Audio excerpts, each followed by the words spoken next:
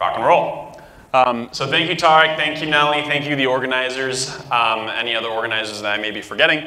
Um, today I'm going to tell you about Dharma. So Dharma, in a one-sentence nutshell, is a protocol for borrowing and lending tokens. Um, we have been live on the Ethereum mainnet since May of 2018. Um, there's been around $150,000 in loans that have been issued uh, with Dharma so far, and ignore that little last part there because this is from a hackathon presentation, so I'm not giving any prizes to any of you guys, unfortunately. Um, so in this talk, we're going to talk about, uh, first of all, like, why did we build this? Like, what is the point of all this? Uh, then we're going to try to get into some of these sort of nuts and bolts of how the protocol actually works. Um, this is when I'm going to get uh, very dry and boring, as Taariq said. Um, and then uh, we're going to talk about how you guys, as cryptocurrency developers, can get started hacking on top of Dharma. So why? I'm going to make a claim that the world economy runs on debt. And this is like a very kind of like um, a double-edged sword in a sense, because debt has this kind of negative connotation that um, you know we think about things like student debt or uh, like the federal deficit or things like that. Um, but really, I'm going to make a claim that it's kind of a, a, a double-edged sword that um, is really endemic to our day-to-day -day lives in so many different ways. So first of all, the houses that we sleep in are funded by mortgages.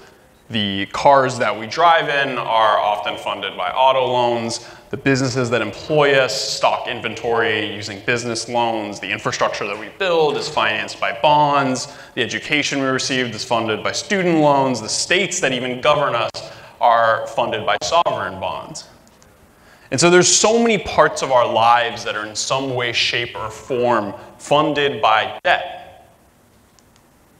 And the system that kind of lies in the background and actually enables um, debt to function um, is what we refer to as the debt capital markets, which is essentially like the global system in which debts are issued and traded. And they do that a lot, actually. So um, over here on the far left, um, we have the total crypto market cap, which um, I don't know if this figure is current given the, the volatility that happened today, but um, at time of minting for this, uh, this presentation was $200 billion. Um, then we have kind of the total equities market, which is markedly larger at $65 trillion. Think, you know, stocks and kind of like um, traditional equities in that sense. Um, and then in the far right, we have the global debt market cap, which is at $217 trillion. This is, I believe, the second largest asset class in the world, with the first being derivatives by like a huge, huge long shot. But that's, that's a topic of conversation for another time. Clearly, um, counterintuitively, there are much more bonds and debt instruments in the world than there are stocks in kind of major companies like Apple or Amazon or what have you. But debt capital markets have serious flaws baked into them. So first of all, debt markets are notoriously inefficient. Um, and I'll give kind of three examples of, of their inefficiencies. So first of all, what is a debt agreement but basically a legal contract between two parties where one party says, I promise to pay you back like X amount of dollars at Y interest rate, and if I don't do that, Z, you know, bad thing is gonna happen to me.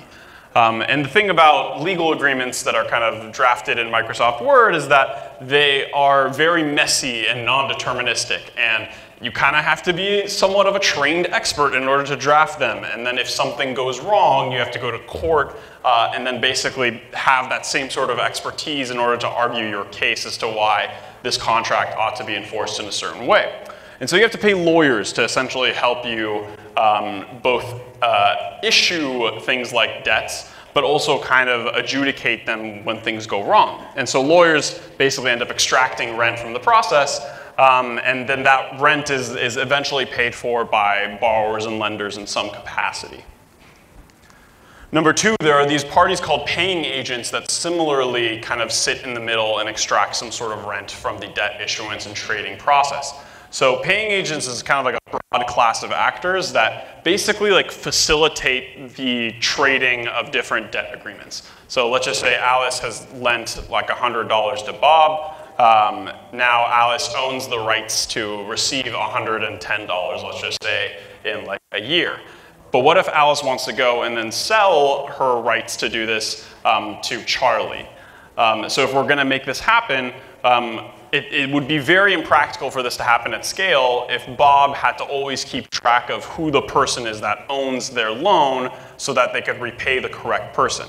So in practice, what happens is that there's what's known as a paying agent, somebody that's basically kind of sitting in the middle, and keeping track of who owns the, the loan at any given time, and is the recipient of repayments from the borrower, and then takes that and routes it to the correct owner of a given debt instrument. Similarly, these people need to eat, and so they extract some sort of rent, and that rent eventually gets paid by the borrowers and lenders. And then finally, um, the last example I give is, is escrow agents, right? So particularly if the loan is collateralized in some capacity, um, usually there has to be some sort of entity that is going to be holding that collateral as a sort of trusted third party so that if you end up defaulting on the loan, um, the trusted third party is going to take the collateral and give it to the creditor. Um, similarly, they're doing this for a price. So they're, they're extracting a rent from the process, and borrowers and lenders at the end of the day pay for that in interest rates that are less friendly to them. Number two, debt markets are notoriously opaque. So this, this is a little bit of an esoteric diagram, but, but does anybody recognize what this is? No. no. All right, okay. Um, so this is a diagram of a collateralized debt obligation um, or a CDO. These are a notorious class of financial instruments that are often blamed for the financial crisis.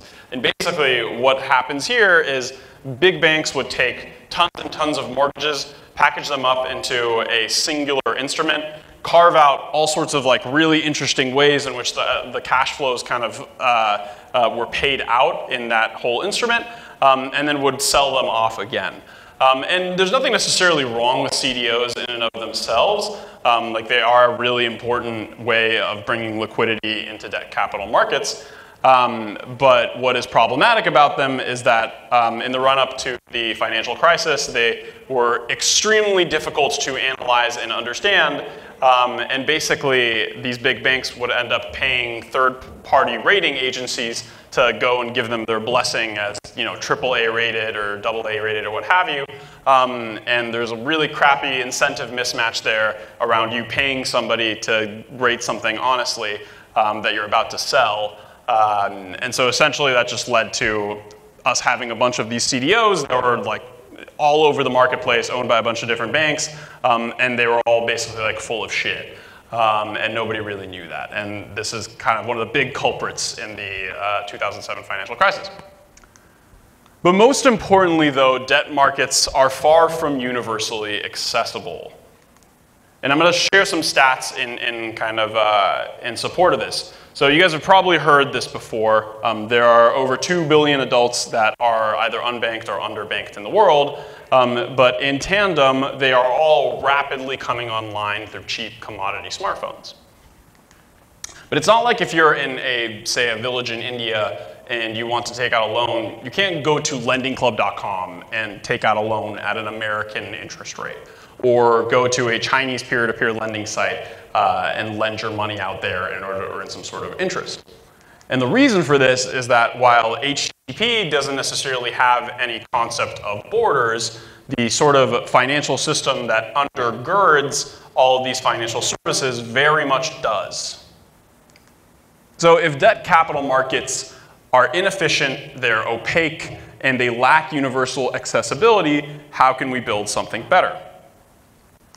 Lo and behold, we have programmable money now. So our kind of fundamental belief here is that there's been a sort of step function change uh, in what was possible and what was not um, with the sort of advent of programmable blockchains. Um, and we think that this is kind of like the, the ground layer of what will eventually be a open financial system in which people um, are able to access financial services uh, with the same sort of lack of friction that they load an HTTP website from anywhere in the world. So blockchains give us the tools to build credit markets in particular that are A, efficient in that the loans are entirely peer-to-peer -peer without any sort of rent-seeking intermediary standing between the borrower and lender. Um, they can enable us to build credit markets that are transparent by default, meaning that at any given time, somebody can go and look on the ledger and see what the state is of the entire loan market, um, get an idea of what loans have been defaulted on, what uh, leverage looks like in the system, et cetera. Um, and then finally, they enable us to build credit markets that are entirely universally accessible. So right now, um, you know, I'm obviously alluding here to Dharma. Um, right now, you can access the Dharma, like the Dharma credit market quite literally from anywhere in the world where you have access to an internet connection. And that's a really, really powerful concept. So how does this actually work? So at a high level, like a thousand foot overview, we like to think of Dharma as kind of being like this financial middleware layer that sits on top of the Ethereum blockchain. We're not ETH maximalists. For all we know, there might be a future in which there's like a gazillion different blockchains, or maybe like two or three, or maybe just one. Um, the point is, is that like we, we think of ourselves as a blockchain agnostic layer that sits on top of um, you know, sufficiently featureful blockchains um, and basically provides this kind of globally accessible, decentralized liquid credit market on top of which a whole range of other financial services can be built on. So those include things like building interesting credit derivatives, building kind of peer-to-peer lending sites, or even building secondary markets in which you can trade different loans as if they were just tokens. So getting more into the specifics here, um, we're gonna go over this kind of in three steps. So there's, there's kind of three things that you need in order to have a sort of credit market um, from a technical perspective. The first thing is, is that you need a way to define the terms of a loan unambiguously and programmatically. Um, you need a way to express an intent to actually borrow or lend. So express the idea like, I want to borrow this much at these terms, I want to lend this much at these terms. Um, and then finally, you need to find a counterparty. So you need to actually be able to go out there and find somebody that wants to lend you that money or find somebody that wants to borrow from you at those rates. So let's go into how we tackle number one first. So we come up with this concept of what we refer to as a terms contract. How many of you guys have ever played around with Solidity before? Okay, so this, this, this may be familiar terminology, it may not, um, but for, for the programmers in the audience, like it is an interface in the same way as any sort of other object-oriented languages has interfaces.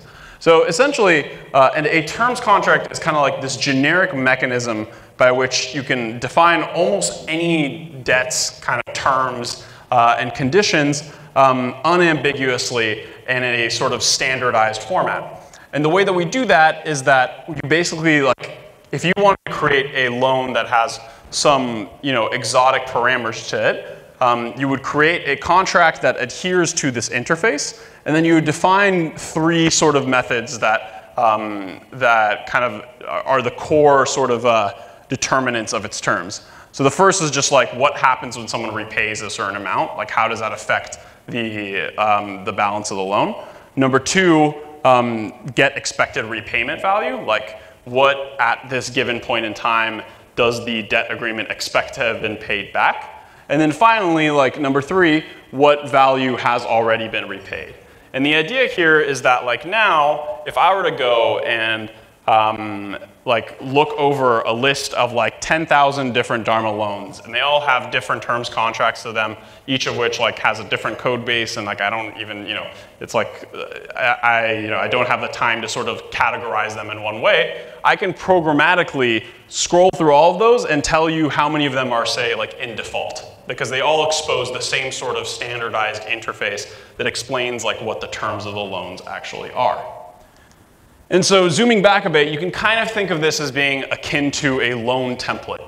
So it's basically kind of like a, um, you know, this is very much the most optimistic case of what a loan agreement looks like. They're usually much, much, much more uh, dense than that. Um, but basically, a terms contract is kind of like a, a, template that says like, um, you know, like blank promised to pay blank back uh, blank at blank interest rate, um, and if that doesn't happen, then blank happens to blank. Um, and the idea is that these can be reused for different uh, loan agreements um, so that you don't have to constantly deploy a new contract on a per loan basis. So that's great. We've now defined the terms of a debt. That's not particularly useful in and of itself, though. um, now we want to actually express an intent to either borrow or lend in some capacity. And this is where we introduce the primitive of a debt order. Now, how many of you guys are familiar with something called the 0x protocol? By a show of hands. Okay, excellent. So this is extremely analogous to the 0x protocol's concept of an order. Um, and essentially, um, what it is, is it's basically just a signed message, a signed like packet of data that indicates that I, as a borrower, commit to a certain set of repayment terms um, and wish to receive a certain principal amount. And so you, will notice there's sort of an abridged um, overview of what a debt order looks like over here. You have basically a person's desired principal, the address of a terms contract, so an address of one of these sort of loan templates, and then like the parameters that fit into that actual loan template. So in the example I gave earlier, it would have been like, you know, simple interest terms contract, and then like interest rate, 10%, uh, like, you know, whatever. Um, and then finally, you attach some sort of signature into there so that programmatically we know that the person at address X has actually committed to these terms. Now, what can we do with a debt order like in a vacuum? Like, a, you know, in, in a world in which like I already know who's going to lend me this money, or I, I know like over, in an over-the-counter situation that they want to lend me this money. So we're going to bring back our proverbial uh, friends Alice and Bob here. Um, and Alice and Bob, Alice has 100 ETH, and Bob has 100 DAI, and we have some like stellar iconography down here representing the Dharma smart contracts. So Alice is going to go and send her signed debt order over to Bob. And now Bob's going to kind of evaluate that. He's going to look at the terms contract. He's going to plug in the terms contract parameters. He's going to see like, oh, these are the terms of this loan that I'm about to take to invest in. Oh, this looks really attractive to me. I want to earn an interest rate. Um, and so he's then going to go and submit that debt order to the Dharma Smart contracts. The Dharma Smart contracts then are going to settle the transaction, meaning they're going to evaluate the debt order. They're going to essentially validate that the debtor's signature is correct and if they validate the terms all make sense and Alice really did consent to this loan, they're going to go and pull 100 DAI out of Bob's um, account, transfer it over to Alice, and then in this particular case, and mind you, this is um, this is specific to the way most loans happen in Dharma today, and we'll, we'll talk about this a little more later. Um, the Dharma smart contracts are going to pull 100 ETH out of Alice's account and escrow them as collateral, essentially for the loan. And then finally, the Dharma Smart contracts are going to go and issue what we refer to as a debt token to Bob. And the debt token, you might notice, has like a weird kind of string of hexadecimal like letters and numbers next to it. That's because it is a non-fungible token. It's not a, um, a fungible token. This isn't like the Dharma native token. By the way, there's no Dharma native token. Uh, uh, contrary to Taariq's belief. Um, so, uh, so what's neat about this debt token is that anybody who holds this debt token at any given time is entitled to the repayments in this loan. That makes it super easy for basically these loans to be traded and repackaged in secondary markets because all you have to do is just kind of send somebody a token in order to transfer the loan over. So that's great, but not everybody has like a readily available Bob that is just you know willing to lend them money at any you know out of the drop of a hat. And so we need to be able to find a counterparty to fill that order. And this is where we introduce the concept of relayers. Again, very, very similar to the 0x protocol. It's functionally the same concept, uh, only instead of matching makers and takers, it's matching borrowers and lenders. And so essentially, relayers are these like businesses that go and aggregate signed order messages in some sort of public order book. And every time a uh, counterparty fills one of these orders um, off of that order book, they're going to go and earn some sort of predefined fee.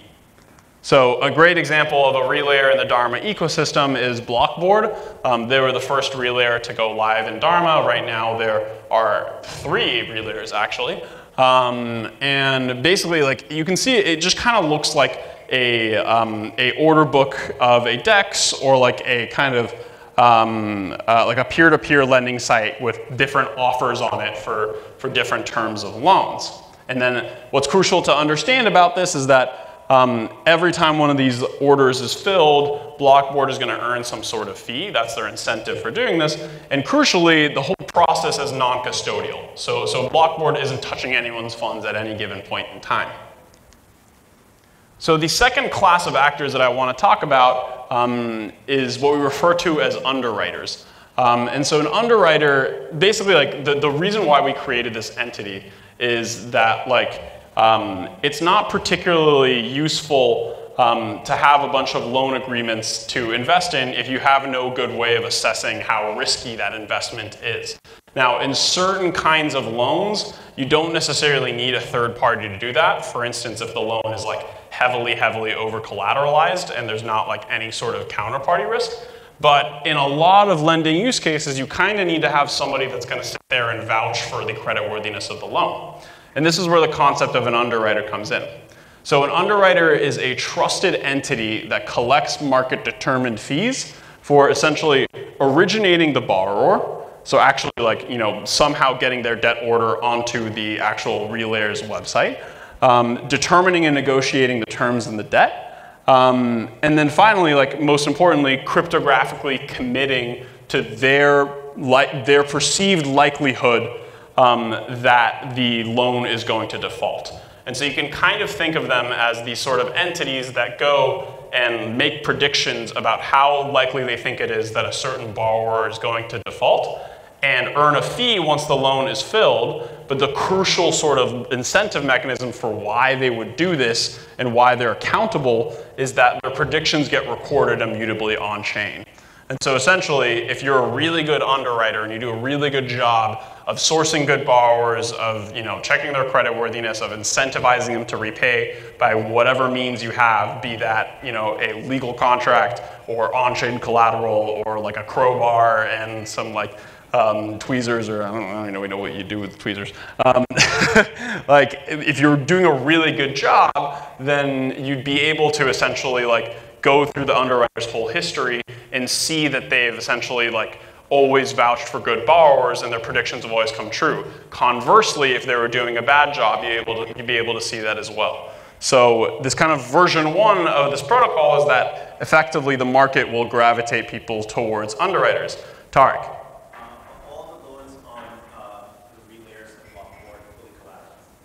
Currently, yes. Yeah. So today, um, in, in, the current, so this is this zooms things out to like the more broader kind of context of Dharma. Right now, the vast majority of the reason people are using Dharma is for margin lending. So like that is like it's like primarily today people are using this for margin trading. This is actually more broadly what people are using decentralized finance more for the most part is just like different forms of speculative lending. Um, and so in that particular use case, like you don't necessarily need an underwriter. There are certain reasons why um, there you would want an underwriter in a margin loan, in particular, in order to have somebody that's gonna like facilitate margin calls and actually kind of like um, make sure that the lender doesn't have to like run a server that watches the loan agreement. Um, but um, I'm happy to dive more into that later. It's, it's a little bit of a tangent um, that's, that's kind of not fitting into the slides. um, so, you know, like giving the end-to-end flow again, what this would look like is like um, if Alice kind of like first, instead of, Alice doesn't even know about one of these relayers, she doesn't give a crap about relayers, she just like went to a website that says like getaloan.com, and that website is an underwriter.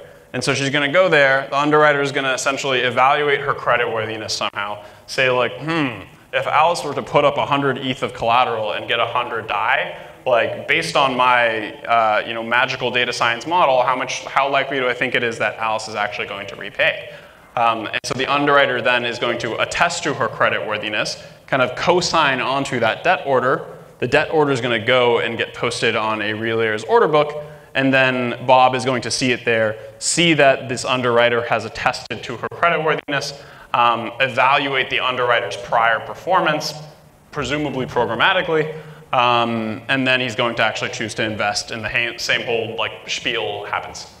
Um, are you raising your hand or? Oh, you're good. Don't worry about it. Um, cool. So you guys are developers. How do you get started actually building stuff on top of Dharma? So we built a whole suite of developer tools to make this super easy for even people who've never actually um, worked with Solidity before. So we have these neat Dharma JS libraries that kind of abstract away all the smart contracts and uh, make it so that even if you only know JavaScript, you should be able to build a peer-to-peer -peer lending application on top of Dharma.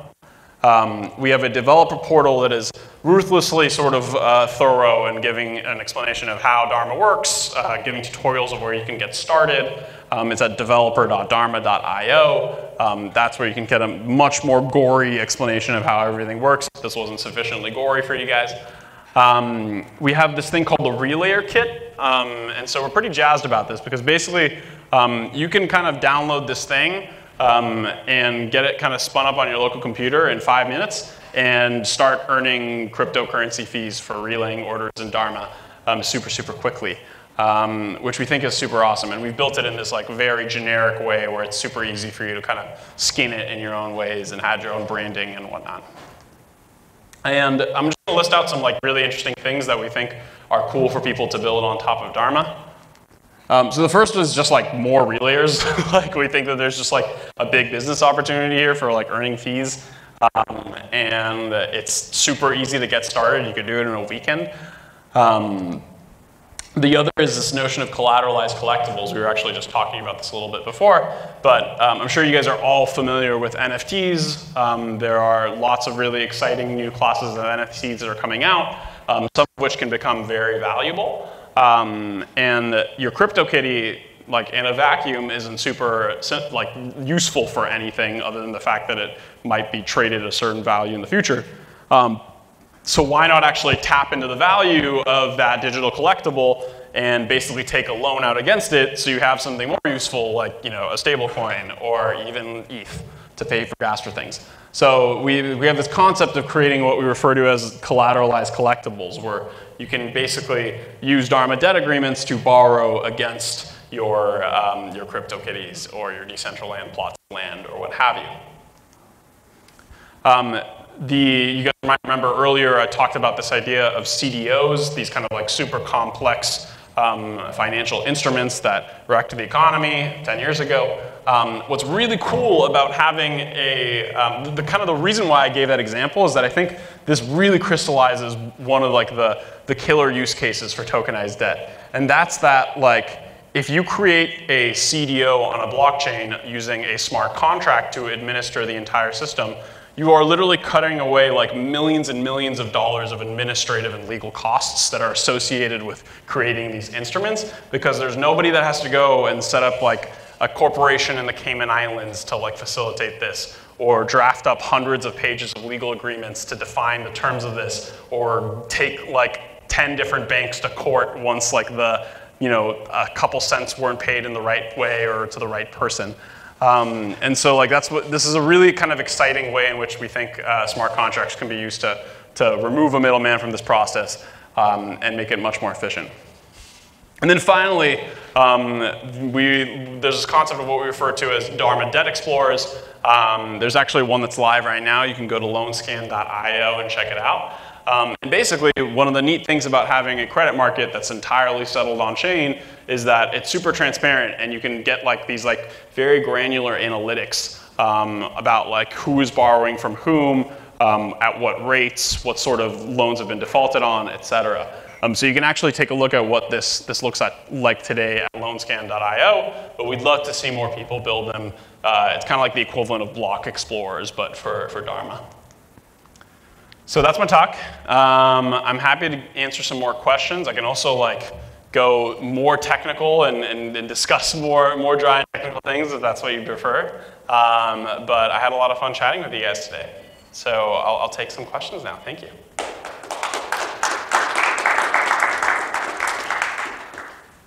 Yes.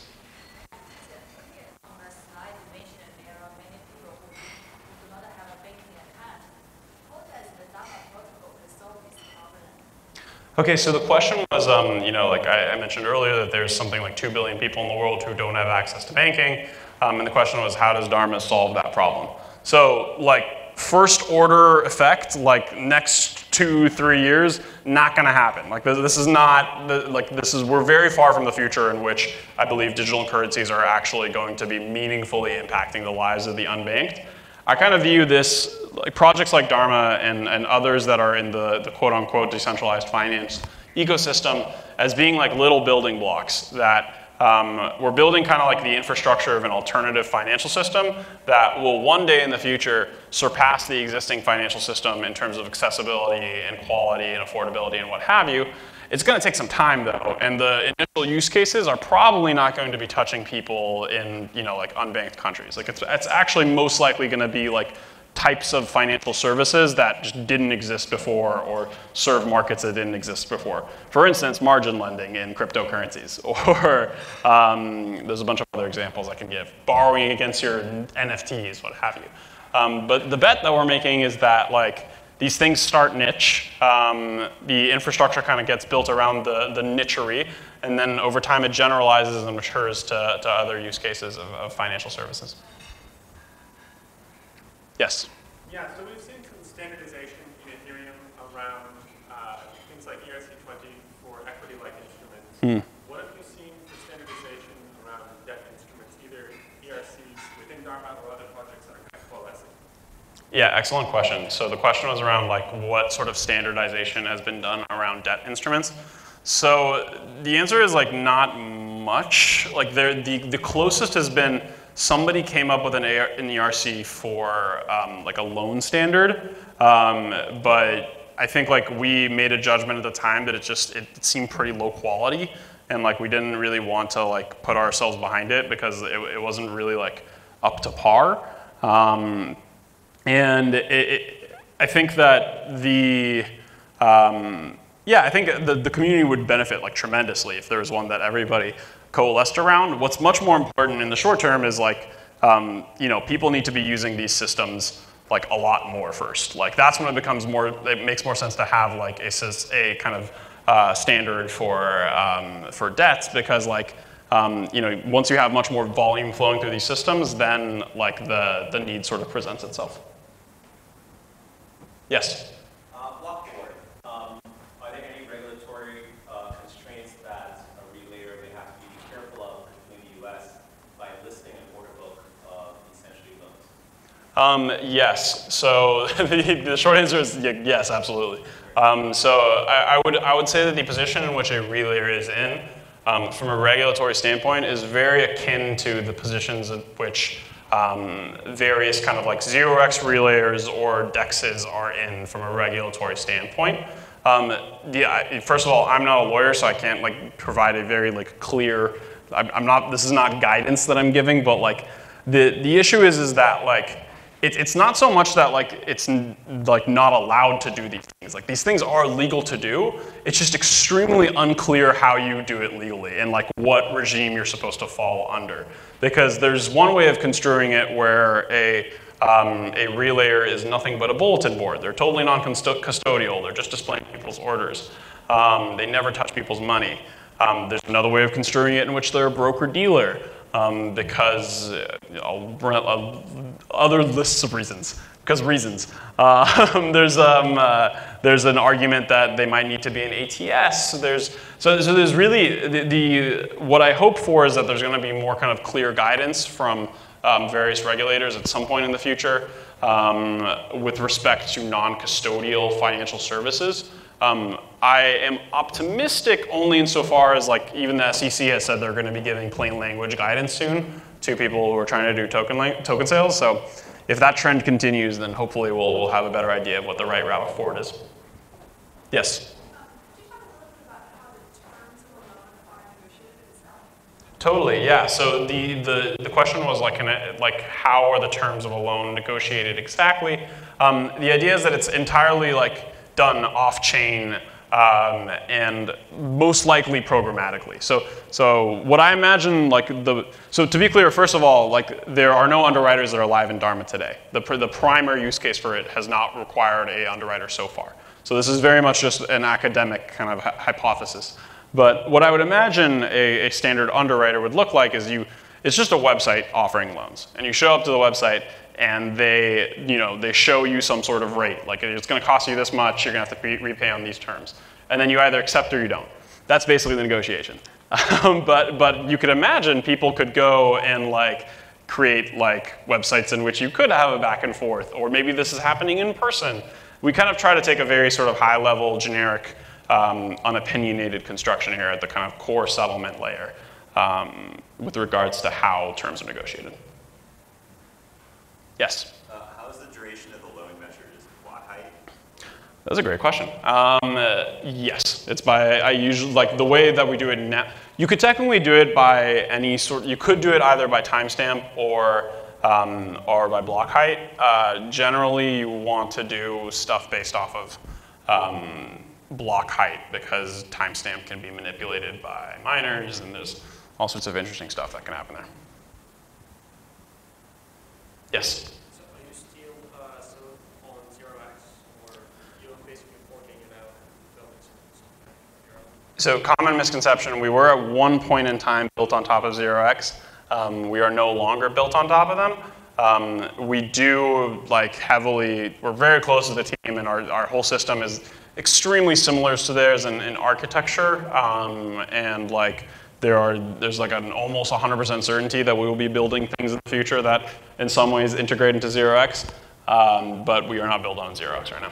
I mean, th- this is, that was like a side question, because it's- it- that would apply to whether to zero x or Dharma, Dharma uh, connections. So what are the, the bandwidth requirements for the relayers? I know, I know this is like, because right now the, the volume is so low, right?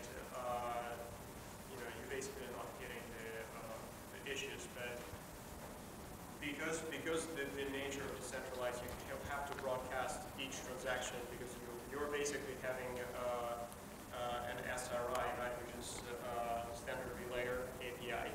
You're broadcasting each transaction, you know, to the entire relay network, and basically having, you know, like terms, O- ON two, ON squared, you know, bandwidth requirement for the entire network. Basically, it's like if you're trying to have a fast exchange, you're gonna have to, your, each relayer will have to have an n squared, O n squared bandwidth requirement. if, if they're all sharing with each other, is what you mean. Yeah, so it's an excellent question. Um, I will, I will caveat first of all, like, these are, you know, these are early days right now, so these are, this is very much still like the step n plus one sort of problem that we would have if there's like, like a really tremendous amount of volume going through. Um, for that, I think that the most interesting solution that I've heard, um, there's a project called Paradigm um, that's essentially um, like the Paradigm network. They're trying to build like functionally a liquidity sharing network that um, instead of a relayer having to broadcast to like a hard-coded list of all other relayers, they have like essentially like literally like a blockchain that they like post to that's very, very cheap to post to um, that would like effectively um, be the source of truth or the relay mechanism for, for the other nodes. Um, I'm not in a good position to explain to you how it works because uh, it's not my project, but I think this is the exact problem that they're trying to solve for.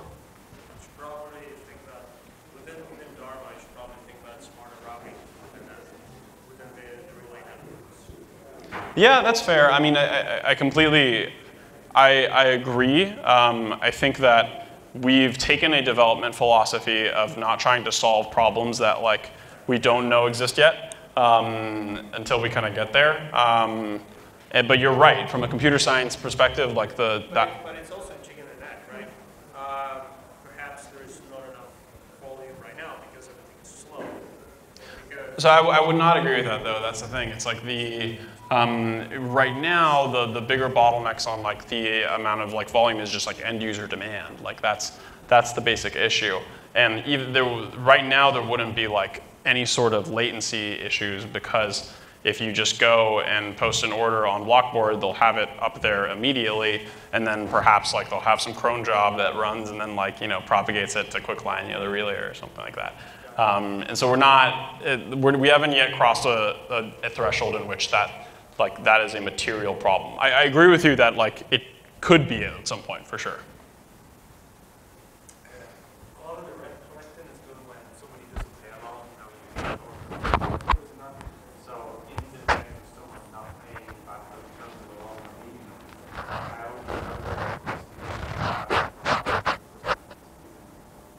So yeah, um, the question was like how, in the event in which a borrower doesn't repay, um, how are like, what is the recourse that a lender has in order to get back their principal?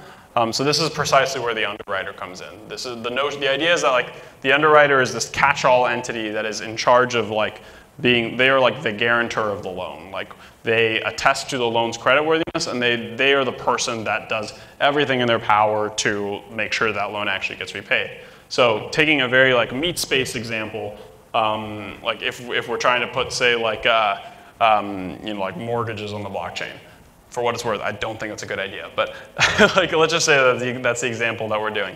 Um, there would be an underwriter that's actually originating the borrower, and then as part of their underwriting and as part of them trying to make sure that their kind of score, their rating is as high as possible, they're going to go and like hire a collections agency to go and like actually go after the borrower when they don't repay, so that um, the the principal is at least somewhat recovered. Now, a better example would be like um, just like straight like in margin loans, right? Like I, I, Taariq asked earlier about like, is there ever a need for an underwriter in like a fully collateralized context? And where it is necessary is or, in order to initiate margin calls and liquidations, which is effectively kind of like the, the collections of the, the overly the over collateralized world. Yeah, I suppose it's, it's a little bit harder though if you're saying that you know this is global in nature. Oh yeah. Each, each, each laws in each country are different, and also if you're offering it to everybody, then you don't really know like when you get that back in that country, rather than you know it's obviously very specific in the US and you generally get the money back because it's mature, but like a lot of other countries wouldn't have all these kind of rules around. Um, yeah, I mean that's correct. I mean this is part of the reason why I I don't you know the question was asked earlier about whether this is going to be like you know, directly helping the unbanked on, in the next like two or three years, like, no, it's probably not. It's, it's, it's precisely for these regions because it's really hard to collect on, uh, on international debt agreements. Um, but our kind of core thesis is that there is just like a whole other set of like new debt like asset classes and new types of borrowers that are being created by this emerging industry um, that don't have access to any sort of credit market at all. We can build the, infrastructure there um, and then hopefully in the future, we'll be able to generalize to more kind of meat-space use cases. Um, once the technology is more mature, once the regulation is more mature, once like consumers are used to interacting with cryptocurrencies, et cetera. Yes?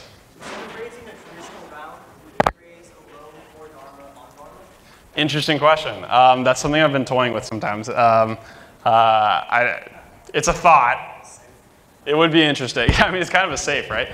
Um, we, yeah, the, where it would make more sense is like, you shouldn't ever raise like debt for comp- like not ever. This isn't true. Most most startups don't need to raise debt, right? Like most startups are an equity investment inherently. It has like a huge risk of down downside and a huge like potential for upside. Um, debt is very much a different kind of asset. It's one that has a low downside risk and a low upside potential. Um, and so where it would make sense for us to say raise around in debt is like if we were to become a lender in the Dharma network ourselves. So it'd be like us getting a debt facility so we can go out and give loans. Um, maybe we'll do that one day. I don't know, but sorry.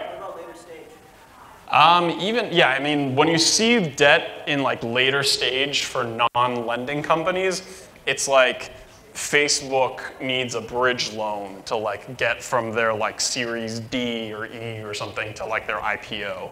And it's like it's just like at that point like it's like okay, we know that once you get this money, you're just going to like hire expensive investment makers and you're going to raise like a gazillion more dollars, so it's not like a risky investment. So sometimes that happens. So who knows? Maybe in like 5 years when we IPO, we'll we'll, we'll talk again. Sorry. Yeah, uh, you had mentioned earlier two questions. One, you said that you wouldn't recommend a protocol like this for something like mortgages. And on your underwriters, how are the incentives for these underwriters better aligned than traditional underwriters like Moody? That's an excellent question. So um, there's two, well, it, it's, I got mainly one question out of there, which is about the incentives with the underwriters. So, um, so the question that was asked was like, how are the incentives in the underwriter system as it stands today in Dharma better than the existing sort of incentives for underwriters in the meat space world. Um, I'd say that they are better insofar as there's just like way more transparency in that like you can like really empirically evaluate like a signal for the underwriter's performance on chain based on how much was actually repaid to lenders, as opposed to kind of like going off of a more informal heuristic. Um, now, where there's room for improvement, though, um, is that like right now, the way that the scheme works is that the underwriters get paid up front. So they get paid as soon as a loan is issued. Um, this is akin to kind of the way that underwriting works often in the real world, um, in that like a lot of what was controversial about the run up to the financial crisis was the quote unquote originate to distribute model, where you would basically go originate a borrower, um, you never hold the balance sheet risk yourself. You just go and sell it off to a big bank like the next day. That created like a lot of like really crappy incentives around things. And so I, I think that a better model that we're exploring, at, least at some point in the future, implementing is having more kind of like explicit skin in the game for underwriters, where they have to like either stake their own sort of tokens on um, given loans, uh, on like a prediction that they make for a given loan. This is a very loosely scoped idea. We, we, we, this is like not hard plans yet, but um, we're playing around with a lot of models that basically add more explicit skin in the game and, and kind of reduce the incentive misalignment. And avoid Sybil attacks. And avoid Sybil attacks. Yes, that's a big one too.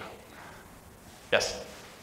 Um, This is a question about a relay network. Are we just talking about different uh, blockchain networks, or are you also referring to real world people recruiting lenders who are not on a blockchain at all? Um, so you mean for the relayers, like who people who are likely to be relayers?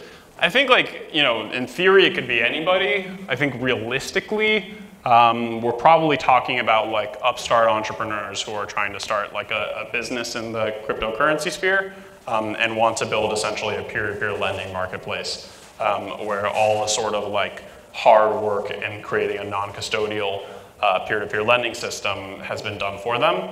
Um, and to like be able to kind of like on day one tap into this existing pool of liquidity um, that is the Dharma credit market. So that, that's like the realistic answer for what it looks like. Yes. So, um, get, this might shrink the market, but if you were to loan on just collateral, so like I, you know, loan you some money just for your house if you don't pay it, Mm-hmm. this would get rid of the collateral aspect of having a, um, get rid of the underwriter aspect of your, um, systems, right? So sorry, is, could you repeat the question one more time? I'm saying like, could you go towards like loaning on collateral, right? I loan So yeah, so the question is, was, is like, could we go towards a system in which we're lending um, like in collateralized loan agreements? That's actually what the system looks like now. So the system right now is mostly over collateralized loans, where the collateral is held in a smart contract, and so there's not any need for. There is some need, but but for the like you know at the current point in time, you don't need an underwriter. Yeah. Yes. Could you show us an example of a collateralized contract that defaulted and the movement of the tokens? Yeah, definitely. Um, let me see if I can. All right. any any preference on browser? I don't know if you. Uh, All right, all right. We're doing Firefox, guys, at Taariq's request. Um, so let's go to loanscan.io. Um, and we'll go into some Dharma loans. Um, okay, so we have some delinquent loans here. They're often like people just doing little tester transactions. Um, let's try to choose one that's like more meaningful. So incentive mechanisms that work, it turns out when people collateralize real money, they're less likely to not repay. Um, okay, so we have a delinquent loan here. Um, the, sorry, let me see if they show the collateral being drawn. Perhaps a better example is, so I don't think LoanScan actually shows you when the collateral is withdrawn, but if you go to supermax.cool, excellent website. Um, you can go onto Dharma and see all smart contract calls that have been done here. this is actually a very cool website, not just for Dharma stuff. But yeah, for instance, you can see someone here is like withdrawing their collateral after having like successfully repaid, um, and the tokens are getting transferred to them right over there. Or, um, oops, sorry, didn't mean to do that. Um, or like they're making a repayment, or a loan is being filled, um, or right here the collateral is actually being seized by a lender. Um, So it's being seized by the lender, not the underwriter. in this case, correct, exactly. This is, and this is the core of why it particularly makes sense in a margin lending scenario to have an underwriter, because it's just like, it's like otherwise you have to continuously monitor things, it's not com- comfortable for a lender. Um, we're actually building an underwriter to do this right now, so that's why this is very fresh on my mind. Um, I'm happy to talk more about that, but that's, that's a little bit of a separate story. Um, this is a dev meetup, so I wanted to keep things pretty dev focused. Um, but yeah, that's, that's what it looks like. Those So are, this was, uh, uh, collateral is what? Uh, do we know what? the collateral is token ID 23. Uh, I can't off the top of my head tell you which one that is. Um, yeah, it's this token right here. Um, 0xC02, whatever is at that address. Put it in Etherscan, will it tell us what it was? Yeah, why not? Let's do it. Crypto kitties, crypto kitties. This is wrapped ether. So yeah, it's, it's just ether. Um, and this is in like 10 to the 18th like mode. So let's see like that is 0.23 ETH, which like what is ETH like one dollar nowadays? Um, um, we're probably talking about like forty dollars, something like that, less. Yeah, pretty small loan in this case. How can you uh, uh, protect against Sybil attack if anybody can create a loan to themselves uh, and then pay off that loan as an underwriter and create a reputation? Yep, excellent question. So this is one of the core kind of like deficiencies in the, in the current underwriter model. It's why if you go onto the Dharma website, we like literally say like underwriters are trusted entities. They need to be trusted entities. Um, this notion of there being a reputation score for, for underwriters, it is flawed inherently. It's not something that is like trustless that um, is ungameable because of the exact sort of attack that Tar talked about. You could go and pretend to be the underwriter, borrower, and lender, lend yourself money and continually, oh wow, I'm such a good predictor of loan defaults. Um, the idea is that you can, we, we kind of think of underwriters as being more similar to like, um, the, the analogy I like to give is like you would never go back in the ICO heydays, you'd never go and just invest in an ICO if all you saw was just an address. And it was like, invest in this address. Trust me, it's like trustworthy. Um, you always have some sort of social trust that gets like brought alongside that. You're gonna go to their website, you're gonna validate that they're, you know, uh, they've got this great team, all these awesome advisors, et cetera. Um, so in the context of underwriters, the way we think about it is like, um, you have an added layer of an empirical signal. You have some signal as to what their actual on-chain activity is, but the, at the end of the day, you do still want them to like be a known entity. You shouldn't be trusting an investment that is like um, underwritten by 0x ACD something. It should be an entity that you're aware of that has a certain public key that's associated with them. Yes. For the credit rating that's going to underpin the loan system, are you, you know, tending to use existing US ones that are mainstream, or are you open or tending to see someone else build a product that you can use?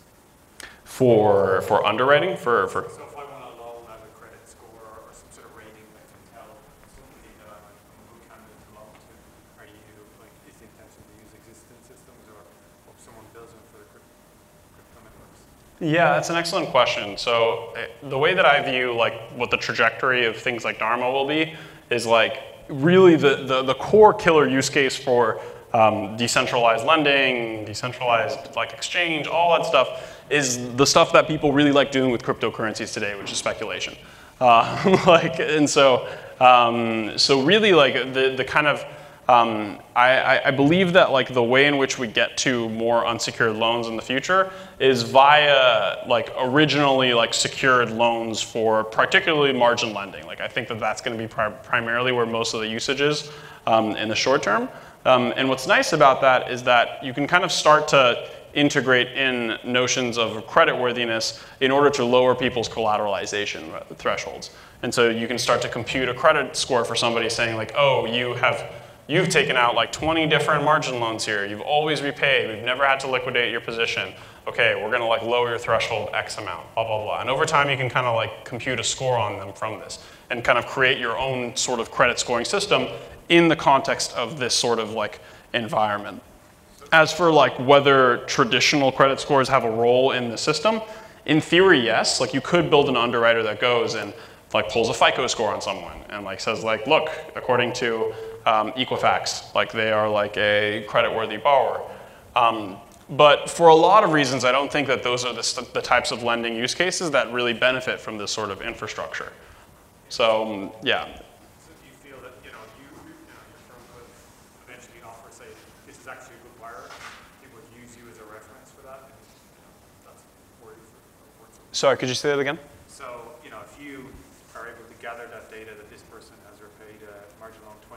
Yeah. a good candidate, you know, you could then use that information as something that's worthy or something that's you know, people would use as social proof. Right, as an underwriter, exactly. So that hence the idea of an underwriter. Like this is per, per, precisely what the underwriter's role would be in the system. Uh, do you have any examples of digital USD coins being loaned in exchange or secured by Ether or any other uh, cryptocurrency where we can at least see a dollar-based loan? Yeah, absolutely. So actually, at, at certain points in time, uh, DAI was the most popular principal token in Dharma.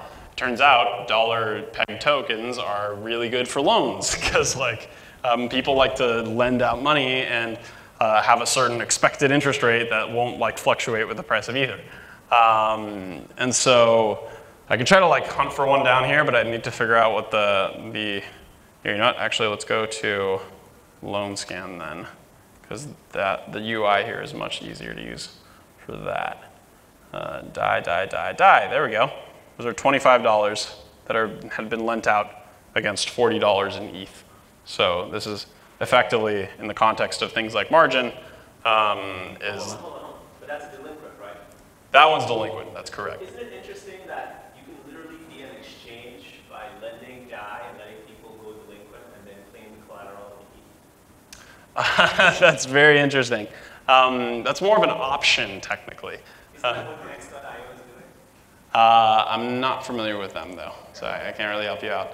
Um, yeah, I mean, like, I, I, I don't think uh, the legal, yeah, TBD on that front. That seems like a really interesting legal argument.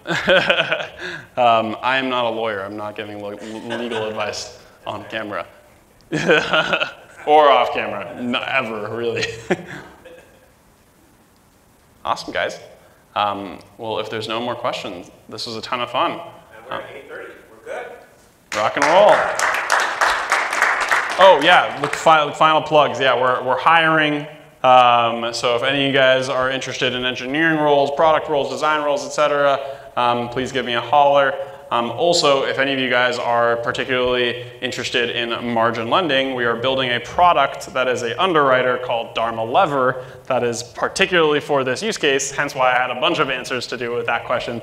Um, and so if you are interested in being a tester of that or um, you know, helping build it, whatever, come talk to me. Anyways, this is a lot of fun. Thank you guys so much for letting me do this.